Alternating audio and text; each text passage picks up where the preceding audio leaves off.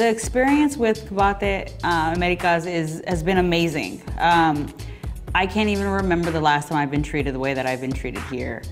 Um, which is the, which is one of the main reasons why after that first fight I was like, let's sign, let's sign. You know, um, I was waiting around trying to figure out like, you know, especially now since I've, I've been fighting for such a long time.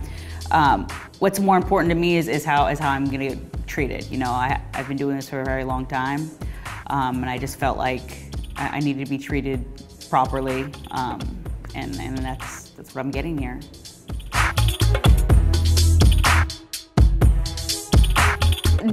the interaction with people that, that say that that I inspire them and and um, and that have been following me for a while is is pretty amazing. I, I don't like I don't believe it. it. It doesn't feel real. But when when they tell me a story or when they um, tell me how long they've been following me or um, so that they've been a fan for a while, it's it just feels not real to me. You know, even though I've been doing this for a long time and and I've been through an awful lot. Um, to, to be able to get feedback like that is just it's, it's amazing you know I, and, and, I love people like that and I love and I love to hear their stories and I love to um, a lot of the time I've become friends with people like that um, there's a connection there you know and and um, they, they they're doing what I'm doing or um, they're trying to do what I have done and um, it's just it's a great feeling I, I love it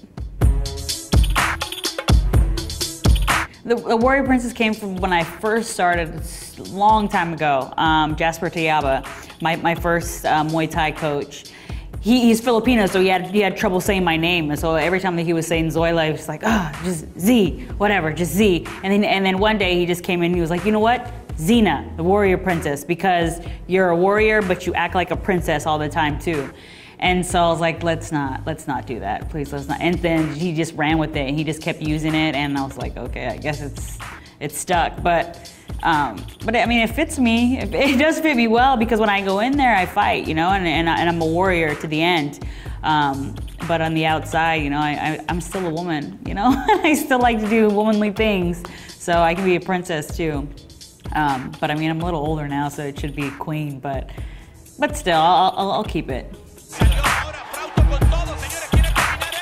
Uh, the biggest obstacles I would say are just being a woman in a dominant, a male-dominant sport.